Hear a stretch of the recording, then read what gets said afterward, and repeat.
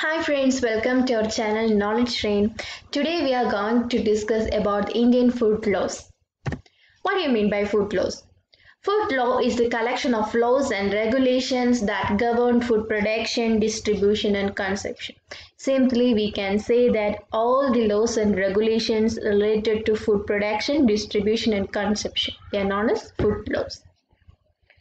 The food processing industry, one of the largest industries in India, is widely recognized as a sunrise industry because it's having huge potential for uplifting agriculture economy.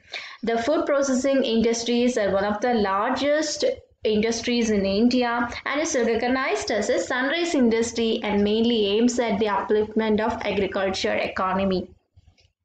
The Indian food processing industry is regulated by several laws that deals with sanitation, licensing and other permits. And the Food Safety and Standards Act 2006, we discussed this act in our earlier video. Uh, that is, and this act, uh, before the enforcement of this act, there were so many laws and regulations related to food. After the enforcement of FSSA, that is Food Safety and Standard Act, it initiates a harmonization of India's food regulations as per international standards. Now, we can see which were those laws and regulations prior to the enforcement of FSSA. These are the laws prior to the enforcement of FSSA. The Prevention of Food Adulteration Act 1954, the Essential Commodities Act 1955, the Fruit Products Order 1955, the Meat Food Products Order 1973, the Vegetable Oil uh, Products Control Order 1947, the Edible Oil Packaging Regulation Order 1998, the Solvent Extracted Oil, De-oiled Meal and Edible Flour Control Order 1967, the Milk and Milk Products Order 1992. The Prevention of Food Adulteration Act 1954. The, this order, the PFA Act, uh, was promulgated by Parliament in 1954 to make provisions for the prevention of adulteration of food. It was mainly enacted for preventing the adulteration of food. And the PFA Acts cover food standards, general procedures for sampling, analysis of food, power of authorized officers, and nature of penalties and other parameters related to food. The Prevention of Food Adulteration Act mainly aims to prevent the food adulteration and thus it uh, promulgated in 1954. Next one is the Essential Commodities Act 1955. This act was enacted in 1955 to ensure safe and wholesome supply and delivery of certain commodities or products and to prevent hoarding or black marketing without affecting the normal life of people and to make these products available to the consumer at fair price. To avoid black marketing hoarding and to get the products available to the consumers at fair price the essential commodity act 1955 was enacted Next comes the Fruit Products Order. The Fruit Product Order promulgated under Section 3 of the Essential Commodity Act 1955 with an objective to manufacture fruit and vegetable products maintaining sanitary and hygienic conditions. This one is the Fruit Products Order 1955. Next comes the Meat Food Products Order 1973 to enforce strict and quality control on the production and processing of meat and food products order. The meat food products order 1973 was formulated. Next one is the vegetable oil products order. And the vegetable oil product order 1947 and the vegetable oil product uh, uh, that is standard and quality order 1975 was combined to form and another uh, act vegetable oil product regulation 1998 that is this act was formulated for the proper regulation on manufacture and distribution of vegetable oils. Next one is the milk and milk products order 1992 this order was promulgated under Essential Commodity Act. As per the provision of this order, any person or dairy handling more than 10,000 liters per day of milk or 500 million tons of solid milk needs to be registered within the registration authorities.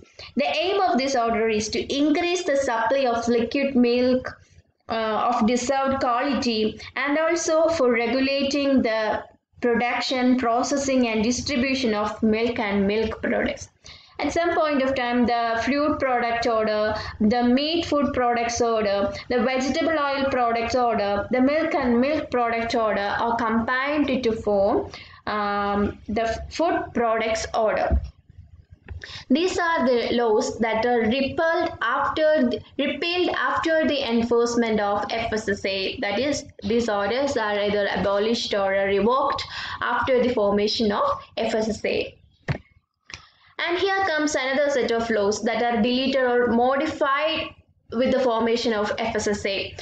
This includes the Standards Weights and Measure Act 1976, the Packaged Commodity Rules 1977, the Export Quality Control and Inspection Act 1963, the Environment Protection Act 1986, and the Environment Protection Rules 1989, the Bureau of Indian Standards Act 1986, the Agriculture Produce Grading and Marketing Act 1937, the Customs Act 1962, the Foreign Trade Development and Regulation Act 1992. Let's see in detail one by one. Standards of Weights and Measures Packaged Commodities Rules 1977 has been introduced under Standard of Weight and Measure Measurement Act 1976. This act aims to regulate trade in pre-packed commodities, ensure information about the commodity in the package, ensure availability of correct quantity. This act is to regulate trading pre-packed commodities which ensure the correct information of the commodity in the package and it and also ensures the correct quantity. Next one is the Export Quality Control and Inspection Act 1963. This is an act to provide for the sound development of the export trade of India through quality control and inspection and for matters connected therewith. The Export Quality Control and Inspection Act was enacted in 1963 that is to strengthen the export trade through quality control and pre-shipment inspections. The Act prohibits the export of substandard goods as well as the product which do not fulfill the requirement as per the Act.